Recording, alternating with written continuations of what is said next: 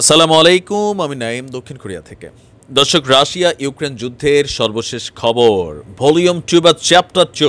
Ukraine রাশিয়ার দ্বিতীয় বছর যুদ্ধের প্রথম দিনেই ঘটেছে বেশ কিছু ব্যতিক্রমী ঘটনা। আপনারা জানেন যে এই মুহূর্তে Ukraine president Zelensky leopard tank two হাতে পাওয়ার পর চীনের সাথেও নিচ্ছে পাঙ্গা আবার পুতিনের সাথেও করছে বড় বড় রকমের কথা। এর মাঝখানে বড় রকমের একটা আহ, ঘটনাও ঘটে গেছে। সেটা হচ্ছে পুতিনের জন্য কিছুটা পজিটিভ মুভমেন্ট শুরু হয়েছে মিত্র শক্তিগুলোর। এই রাশিয়া ইউক্রেন যুদ্ধকে কেন্দ্র করে রাশিয়ার সাথে বন্ধুত্ব, ভালোবাসা কইরা ইরান যেমন পশ্চিমাদের আগুনে জ্বলছে, আরও একটা দেশ জ্বলছে দেশটার নাম হচ্ছে বেলারুশ। লুকাশেঙ্কুর সেই দেশ, বেলারুশ। এবার ভ্লাদিমির পুতিনকে ভলিউম টু যুদ্ধে আরও দশ ধাপ আগায় নেবার জন্য ঐতিহাসিক ঘোষণা বার্তা দিয়েছে বেলারুশের পক্ষ থেকে। ইউক্রেনে রাশিয়ার এক বছরের অভিযানের পর এবার প্রতিবেশী বেলারুশ পাশে এসে দাঁড়িয়েছে শক্তভাবে। নতুন তত্ত্ব সামনে এনেছে ইউক্রেন সীমান্তবর্তী রাশিয়ার এই মিত্র দেশ। দেশটি বলছে, বেলারুশের সশস্ত্র বাহিনীর বাইরেও পনেরো লক্ষ সম্ভাব্য সেনা রয়েছে তাদের। যদি ভ্লাদিমির পুতিন চায় বা এই যুদ্ধে প্রয়োজন হয়, সেই পনেরো লক্ষ সেনাকেও ব্যবহার করার সুযোগ পাবে ভ্লাদিমির পুতিন। আপনি বুঝতে পারছেন যে কত বড় ধামাকাধার আসলে ঘটনাটা?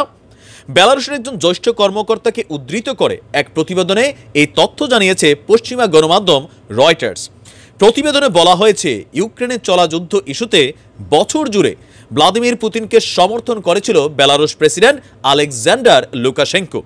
এরই মধ্যে প্রেসিডেন্ট পুতিনকে বেলারুশিয়ান অঞ্চল থেকে আক্রমণ করতে দেওয়া এবং রাশিয়াকে বেলারুশে সদ্য অন্তর্ভুক্ত সেনাদের প্রশিক্ষণের অনুমতি চাওয়ার বিষয়টিও রয়েছে যে, কাকু, আপনি একটু ট্রেন করেন যাতে কাজে লাগলে মানে এটা ফায়দাজনক হয় দুই দেশের জন্যই।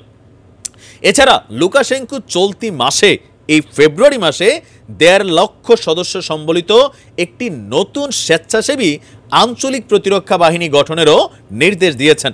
যেমনটা আমরা বলেছিলাম, ভ্লাদিমির পুতিনের যে private killing room Wagner group আছে, এর পাশাপাশি লুকাশেঙ্কু সেই ওয়াগনার গ্রুপেরই ধাঁচে নতুন একটা প্রাইভেট গ্রুপ বানাতে যাচ্ছে। যেরকম একটা গ্রুপ আবার বানাতে যাচ্ছে চেচেন নেতা রমজান কাদির। একের পর এক ধামাকাদার অ্যাক্টিভিটিস আর তিনোটা দেশই মিত্রদেশ পুতিনের জন্য যথেষ্ট ইকলাভিয়া টাইপের একটা দেশ। লুকাশেঙ্কো বলছেন বেনার বেলারুশে আক্রমণ হলেই কেবল তার সেনাবাহিনী যুদ্ধ করবে। মানে এই যে প্রাইভেট গ্রুপটা যিনি বানাবেন, সেটা তারা দেশের স্বার্থে যুদ্ধ করবে। বেলারুশের রাষ্ট্রীয় বার্তা সংস্থা বেল্টার তথ্য অনুযায়ী, দেশটির নিরাপত্তা পরিষদের স্টেট সেক্রেটারি আলেকজান্ডার ভলফুবিজ বলেছেন, এই ধরনের সংস্থাগুলো কাঠামো সামরিক বাহিনীর মতন হবে না।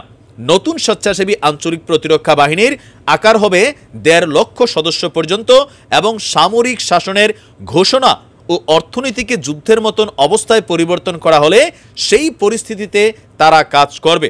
আর বেলারুশের প্রেসিডেন্ট লোকাশেঙ্কু বলছেন, পুতিনকে যদি এই ইউক্রেন যুদ্ধে জয়লাভের জন্য বেলারুশের সরকারি সেনাবাহিনীর পাশাপাশি প্রাইভেট তার এই যে বাহিনীটার জন্য তিনি প্রস্তুতি নিয়েছেন বা অনেক দূর এগিয়েও গেছেন, চাইলে সেই বাহিনীকেও ব্যবহার করতে পারবে।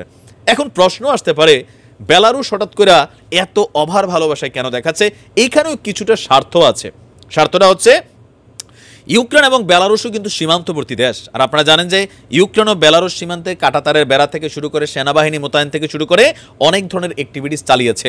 আর বেলারুশে ইউক্রেন আক্রমণ করতে পারে বা ইউক্রেনকে বেলারুশ আক্রমণ করতে পারে, এই সংখ্যাকে কেন্দ্র করে দুই দেশের মধ্যে একটা উত্তেজনা আছে। আর বেলারুশ যেহেতু পুতিনের খাস বিশ্বস্ত একটা মিত্র দেশ, সেই কারণে বেলারুশের প্রতি একটা পজিটিভ দৃষ্টিভঙ্গি পুতিনের আছে আর যুদ্ধীয় সমর্থনের কারণে। এখন দেখা যাক যে সামনের দিনে এই ভলিউম টু চ্যাপ্টার টু যুদ্ধে পুতিন আসলে কী কী সফলতা আনতে পারে? বেলারুশের এই সমর্থনের কারণে। ভালো থাকুন, আসসালামু আলাইকুম।